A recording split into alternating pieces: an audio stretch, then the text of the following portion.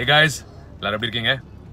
அதாவது முகமது அலி எனக்கு ரொம்ப பிடிச்ச ஒரு குத்து சண்டை வீரர் பாக்ஸர் அதாவது அவர் எறால பார்த்தீங்கன்னா அவர் அவர் அவரை மாதிரி குத்து சண்டை போட்டியில் வந்து பங்கேற்க முடியுமா? அவ்வளோ ஸ்ட்ராங்காக இவ்வளோ ஃபாஸ்ட்டாக இருக்க முடியுமா அப்படின்னு வியந்த ஒரு காலகட்டம்.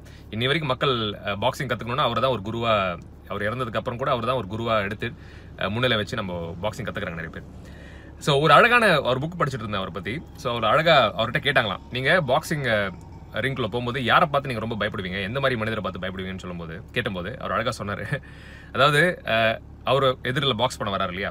பாக்ஸ் பண்ண அவரை பாக்ஸ் பண்ண வரவர் வந்து இவரோட பயங்கரமாக அதிகமாக ஸ்ட்ராங்காக பஞ்ச் பண்ணுவாரா? இல்லை அதிக பாக்ஸிங் ஸ்கில்ஸ் இருக்கா? இல்லை அவரோட ஃபாஸ்ட்டாக இருப்பாரா? அப்படின்ற பார்த்து அவர் பயப்படலையா? பட் இவர் அடிக்க கீழே விடுறாங்க இல்லையா? விழும்போது அடிக்க அடிக்க கீழே விழுந்து விழுந்து எந்திரிச்சு வரவரை பார்த்து தான் எனக்கு பயம். அடி வாங்கியும் கீழே விழுந்ததுக்கப்புறமா எந்திரிச்சு வராங்க இல்லையா? ஒரு வாட்டி ரெண்டு வாட்டி மூணு வாட்டி நாலு வாட்டி. திருப்பி திருப்பி எவ்வளோ அடி வாங்கினாலும் எந்திரிச்சு வராங்க இல்லையா? ஸோ அவங்கள பார்த்து தான் எனக்கு பயம்னு சொன்னாராம். எவ்வளோ அழகான ஒரு ஒரு மெட்டஃபர் இல்லையா? வாழ்க்கையும் அப்படிதாங்க. நம்ம எவ்வளோ சோதனைகள் எவ்வளோ வேதனைகள் வந்தாலும் நம்ம திருப்பி திருப்பி எந்திரிச்சு நம்ம லைஃப்பை ஸ்ட்ராங்காக ஃபேஸ் பண்ணோம்னா வேதனைகள் சோதனைகள் எல்லாம் பறந்து போயிடும். அப்படிதான் வாழ்க்கையில் ஜெயிக்க முடியும். ப்ளஸ் கஷ்டங்கள் எல்லாம் நம்மளை பார்த்து ஓடி போயிடும். ஸோ இது ஒரு அழகான மெட்டஃபர் உங்ககிட்ட ஷேர் பண்ணணும்னு தோணுச்சு. ஸோ எவ்வளோ சோதனைகள் வேதனைகள் வந்தாலும் திருப்பி திருப்பி எந்திரிச்சு போங்க போராடுங்க. கண்டிப்பாக நீங்கள் ஜெயிப்பீங்க. Okay, have a fantastic day, friends.